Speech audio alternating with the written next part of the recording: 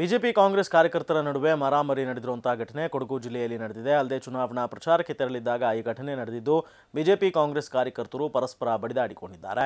ಇನ್ನು ಕಬ್ಬಿಣದ ರಾಡ್ನಿಂದ ತೀವ್ರ ಹಲ್ಲೆಗೊಳಗಾಗಿರುವಂತಹ ಗ್ರಾಮ ಪಂಚಾಯತ್ ಸದಸ್ಯ ಜಮ್ಮಂಡ ಸೋಮಣ್ಣ ಐಸಿಯುನಲ್ಲಿ ಚಿಕಿತ್ಸೆಯನ್ನು ಪಡೆಯುತ್ತಾ ಇದ್ದಾರೆ.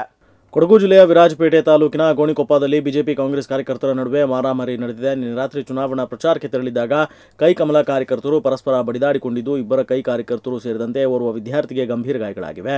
ಅಂದಹಾಗೆ ಕಬ್ಬಿಣದ ರಾಡ್ನಿಂದ ತೀವ್ರ ಹಲ್ಲೆಗೊಳಗಾಗಿರುವ ಗ್ರಾಮ ಪಂಚಾಯತ್ ಸದಸ್ಯ ಜಮಂಡ ಸೋಮಣ್ಣ ಐಸಿಯುನಲ್ಲಿ ಚಿಕಿತ್ಸೆ ನೀಡಲಾಗ್ತಾ ಇದ್ದು ಹಾಗೆಯೇ ನಗರ ಯುವ ಕಾಂಗ್ರೆಸ್ ಅಧ್ಯಕ್ಷ ಕರ್ತಂಡ ಸೋಮಣ್ಣ, ವಿದ್ಯಾರ್ಥಿ ಪುನೀತ್ರನ್ನ ಕೂಡ ಮೈಸೂರಿನ ಬೃಂದಾವನ ಆಸ್ಪತ್ರೆಗೆ ದಾಖಲಿಸಿ ಚಿಕಿತ್ಸೆ ನೀಡಲಾಗ್ತಾ ಇದೆ. ಕಳೆದ ರಾತ್ರಿ ಕೈ ಕಮಲ ಕಾರ್ಯಕರ್ತರ ನಡುವೆ ಮಾರಾಮಾರಿ ನಡೆದಿದ್ದು, ಕೊನೆಗೂ ಪರಿಸ್ಥಿತಿ ಹತೋಟಿಗೆ ಬಾರದಿದ್ದಾಗ ಪೊಲೀಸರು ಲಘು ಲಾಠಿ ಪ್ರಹಾರ ನಡೆಸಿದ್ದಾರೆ. ಘಟನೆ ಸಂಬಂಧಿಸಿದಂತೆ ಎರಡು ಪಕ್ಷದ ಕಾರ್ಯಕರ್ತರ ಮೇಲೂ ಪ್ರಕರಣ ದಾಖಲಾಗಿದ್ದು, ಬಿಜೆಪಿಯ ಐದು, ಕಾಂಗ್ರೆಸ್ನ ನಾಲ್ಕು ಮಂದಿಯನ್ನ ಪೊಲೀಸರು ಬಂಧಿಸಿದ್ದಾರೆ.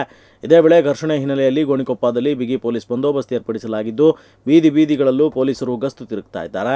ಇನ್ನು ಘಟನೆಯಲ್ಲಿ ಮನೆಯ ಬಳಿ ನಿಂತಿದ್ದ ನನ್ನ ಮಗನ ಮೇಲೆ ಪುಡಾರಿಗಳು ಹಲ್ಲೆ ಮಾಡಿದ್ದಾರೆ ಅಂತ ಗಾಯಾಳು ವಿದ್ಯಾರ್ಥಿ ಪುನೀತ್ ತಾಯಿ ಅಳಲು ತೋಡಿಕೊಂಡಿದ್ದಾರೆ. ಸದ್ಯ ಗೋಣಿಕೊಪ್ಪದಲ್ಲಿ ಬಿಗುವಿನ ವಾತಾವರಣ ಏರ್ಪಟ್ಟಿದ್ದು, ಪರಿಸ್ಥಿತಿ ಬೂದಿ ಮುಚ್ಚಿದ ಕೆಂಡದಂತಿದೆ.